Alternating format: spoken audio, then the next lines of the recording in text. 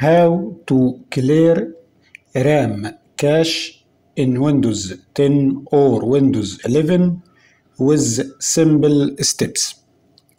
If you open Task Manager, right click Task Manager, Performance, Memory, you notice that memory cache 3.6 gigabytes. It make your laptop slow. So to clear this in Windows 10 or Windows 11 just open your browser type RAM map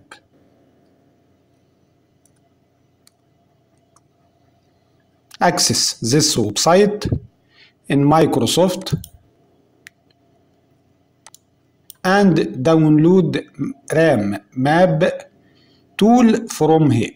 Just click here, here this tool. Extract here on your desktop. Open this file and run this icon as administrator. Agree?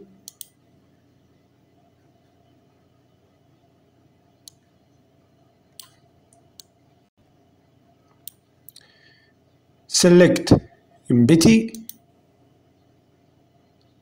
and notice that cache 3.0 gigabytes.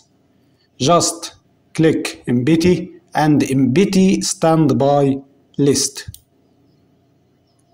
Here is cache as you see. That's simple method to clear RAM cache in memory Windows 10 or Windows 11 that make your laptop faster. Thanks for watching. Please like, share and subscribe. Thank you.